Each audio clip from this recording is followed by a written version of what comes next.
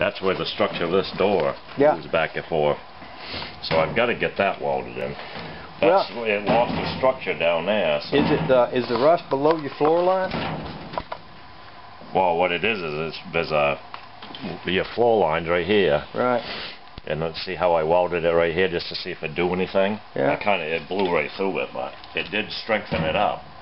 So if I can, I know a lot of people will leave it will leave it kind of rusty around the edges like that, and do it down below where it's not really Right. you know interfering with the strength of the body. But uh, but I've got to do I've got to do something in there. But if I do do something in there, why don't we ask why don't we ask these guys? what?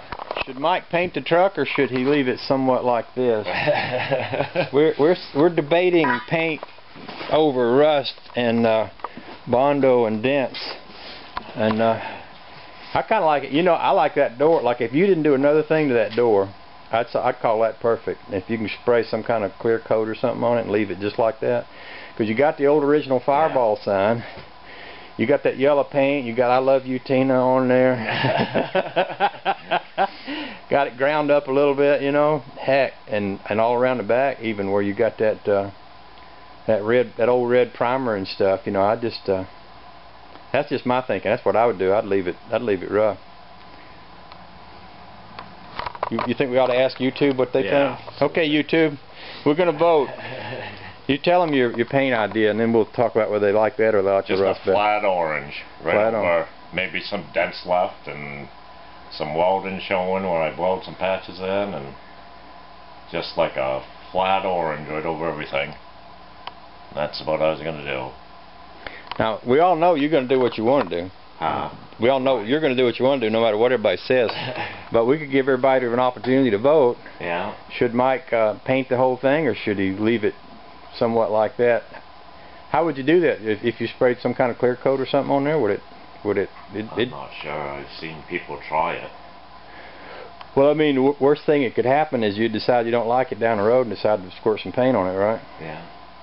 You'd have to paint some, put some clear coat on it because there's a lot of bare metal showing, you know. Yeah. But the clear might not adhere to, you know, where it's your primer basically adheres your paint to your to your paint. Yeah. So if you have no primer between your clear coat, then I'm not real sure what's going to happen. You know what I mean? well, the worst. What's the worst thing that could happen? Worst thing in Maine is this thing could turn right into one big bowl of rust.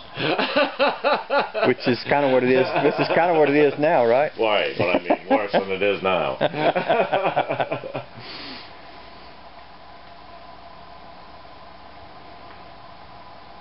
I don't know, we'll see what they say. I vote for rust. I love that door. To be honest with you, I wouldn't, I wouldn't, I wouldn't do a thing more to that door. I would, I would uh, preserve that just like that. I think it's lovely.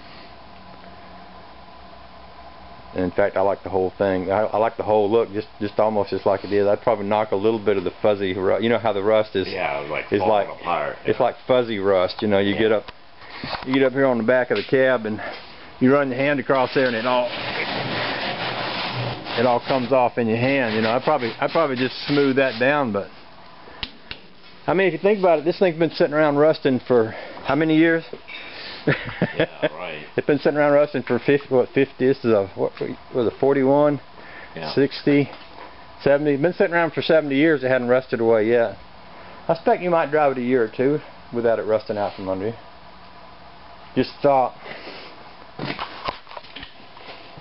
Yeah, maybe I'll just run around it with a look like I'm doing now and yeah, just kind of take a take your grinder and, or, or brush or whatever and just kind of knock the uh, fuzzy stuff off in it. And uh, if you want to get fancy, you know, if you think about it, you've already primed this up here, so you could take your front end and your hood, you could do your big ugly skull face thing, and then leave the back of it. Yeah. You know, have that fade into the back of it back there and leave it rough. That'd be honking, wouldn't it? yeah, go with old style door hinges. Yeah. I'm going to say that again. I thought that was clever. You can always paint it, but you can't unpaint it. oh, it's just lovely.